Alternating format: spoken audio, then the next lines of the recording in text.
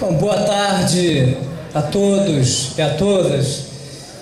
Eu queria fazer um contraste aqui, porque essa audiência pública é, convocada pela VIT é um esforço que cada um de nós é, estamos fazendo com apoio de vocês. É, e nós trouxemos as autoridades aqui hoje para que elas pudessem olhar nos olhos de vocês e ver a angústia desses últimos dez meses. Daí a impaciência nossa é, para que as pessoas pudessem falar, é, considerando aqui com educação, é, vocês pudessem ouvir um pouco daquilo que foi essa luta toda para chegar até hoje e ver aquele projeto. Mas, como diz o Betinho, quem tem fome tem pressa e a gente já esperou muito tempo.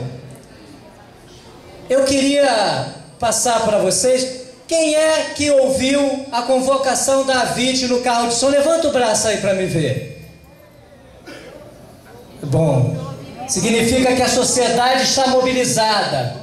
A sociedade de Teresópolis está consciente está mobilizada. A mobilização da sociedade de Teresópolis já colocou para fora da prefeitura um prefeito corrupto.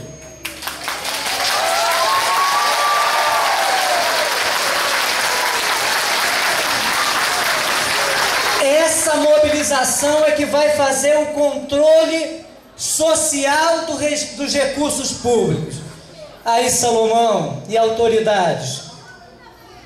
Quando o prefeito da cidade decretou estado de calamidade, o prefeito Jorge Mário, e o governador de estado também atuou, embora dizem que o município está em calamidade, mas na verdade quem está em calamidade é o cidadão.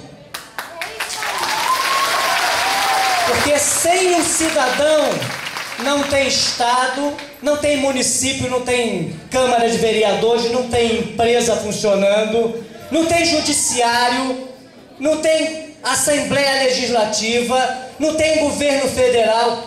Sem o povo não existe município. Então, o estado de calamidade é do cidadão.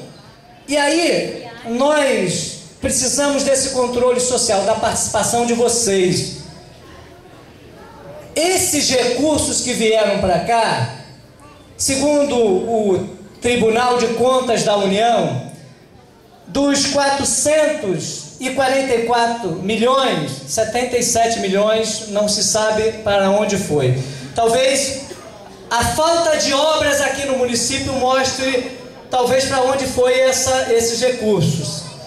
E das 45 empresas que prestaram contas, apresentaram as notas e os serviços, a gente viu muito pouco.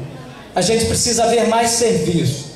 Então a gente precisa do controle social da sociedade. E cada um de nós sabe como é que se faz para ser atendido.